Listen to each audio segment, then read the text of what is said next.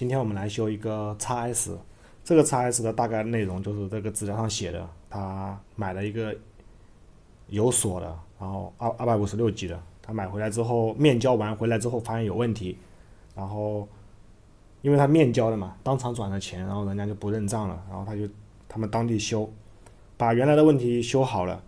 然后又出了个新问题，就是打电话没声音。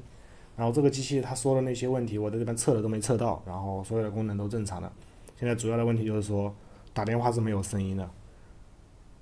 他这个时候啊，他所有的声音都是正常的，外放的声音都是正常的，铃声啊、看视频啊、微信啊什么的都 OK。他就是打电话的时候就没声音，就会很卡，一一打电话就会很卡。然后他。在打电话的时候啊，像这种问题，你在打电话的时候，你你你按那个音量加减，它是调不出来进度条的，就是音量加减的那个进度条，它又很延迟，它才会出来，然后这个时候就会很卡，然后你按了以后它是没反应的。现在现在这个问题就是这个主要的问题就是这个问题。然后现在我们来拆机看一下这个机器之前上一家修的什么样子了，是不是你们又盲拆要搬板？然后但这个机器应该是换过壳的吧？它那个电池一拉就掉了，它那个屏确实是后压屏，不是压 TP 的，然后屏幕确实是压盖板的屏，然后也没算骗他吧。然后现在这个板拆出来，可以看到这个板是修过了，就是他买回来之后有问题嘛，然后给他们当地修的。然后这个人修板的呢，我在我的角度现在看这个板的话是个变形的，就不知道各位小伙伴能不能看得出来。然后这个板也没有搞过别的。只是分过层，他修那个重启什么之类的，然后修完之后打电话没声音，像这种变形的板打电话又没声音，应该是摔掉点了，然后线没飞好，或者是没贴合好，应该就是一个很小的问题。然后这个板看起来的话就脏脏的，然后前面都没有贴合下去，就是一个很大的间隙，这个间隙很大，它的点都没有连上。我感觉我现在感觉我好像捡钱了，就这个很简单的问题，我只要把它。吸脱掉充值就 OK 了，理论上是这样。然后现在呢，只是停留在理论阶段上。我们现在来分个层，看一下这个板子具体的情况。现在已知的问题就是说，这个机器之前肯定是重摔机，因为主板变形了，然后压过盖板，然后也换过壳，因为刚才电池很松嘛，一一抠就下来了，不是原电池胶了，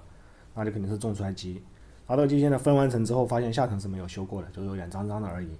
然后上层呢是有掉点的，就和我想的一样。然后，但是也是脏脏的。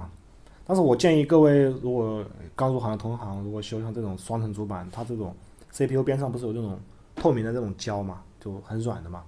然后这种胶你把它分完层之后嘛，它不是主板还热的嘛，就马上拿个刀片去把中间挑掉，就不要让那个胶全部连在一起。这种胶连在一起的话，就恶心不说啊，还容易会虚汗的。就像你你你到时候会打汗油，然后又会贴合它，它的这个。它有温度的话，它都就会膨胀，就会把旁边的电容啊、电阻啊给顶顶虚汗了。所以说我建议就是把它调干净。然后这个机器主要的问题就是说，它没贴合好，然后线也没飞好。这个人飞线飞的也真的是，也真的很一般嘛，比我飞的还一般。我觉得我飞线已经很一般了嘛，他比我飞线还不讲究，就直接点点上去就好了。然后线也没飞好。然后也没贴好，所以导致了打电话没声音，就是一个很简单的问题。然后其实像这种 x S 啊，它不是那种已经是第二代双层主板了嘛，不像 x 那种主板，就它下面的引脚很小，然后你必须要飞线，不飞线的话不稳定的。像这种引脚很大了，其实不用飞线了，然后你只要把它清理干净，然后把它刮出来。如果你刮的时候呢，像我刚才不小心因为刮到别的地方漏铜嘛，就跟它不是一组的，你要拿滤油把它封起来，不要让它串线了。然后打下组织，确定没毛病，然后我又挑了一下，它这一排都没有发现虚焊的。因为有些时候摔掉点了，那么它你能看到那种掉点的，有一些它你看不到，它就可能说会虚汗，然后你要调一调，不然的话你没有及时发现的话，修好过一段时间又出问题了，出现别的问题了，别人觉得你啊你水平怎么这样啊，怎么怎么样，所以说一定要排查清楚，然后再去上点锡，然后一吹，它就会变得很饱满了嘛。因为下层等一下会直吸的，上层。这个掉点的地方呢，加点锡，加到很饱满，等下两边一贴合，它就会稳的还一样，很稳的。然后这种焊盘很大的情况下，其实不用飞线了，保证很稳。然后上层已经处理的差不多了，然后为了节省时间，我现在已经贴合好了。贴合好之后呢，这个机器的问题就已经解决了，所有的功能都 OK。然后现在打电话呢，它是有声音的。然后打打电话的同时，你按音量加和音量减的话，它会很线性，你按完它马上出来了，不像刚才那个有一段延迟。它现在打电话是有声音的。但这个机器修起来非常简单，就就是把飞线的地方没飞好的地方重新弄一下，然后贴合好。但是这个主板是变形的嘛，它就视频里面拍不出来，让你们看不到那种变形的样子。但这个机器修起来很快，那贴了这种，这样贴了好长时间啊，修了二十分钟，贴了两个小时贴合。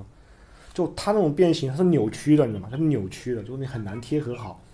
然后我又很强迫症，我就一定要把它贴合好，就来来回回贴，来来回回贴，一直贴不好。然后加热台把后面的贴好，前面的变形的时候用风枪去加热嘛，把它压下去嘛。这种一般都这种贴的嘛。然后这个你只要把它压下去很完美的时候。你开机的时候，它就会定电流，要不就大电流，要不就定电流，然后又分层重新贴，分层重新贴，分层重新贴，吸都支了三遍，最后我就放弃了。然后是有问题的有有用的地方我都贴好了，但前面会有一点点小翘，那个地方不能压，一压就会大电流，或者是定电流就会出别的问题，然后就会让它留一点点小小的翘的吧。然后这个主板是变形是这种拧着的，就是你不做这个行，你不能理解，反正就是。懂的都懂，然后 视频的最后呢，希望大家给我点赞投币，没点关注的小伙伴呢，帮阿普主点个关注，我们下个视频见，拜拜。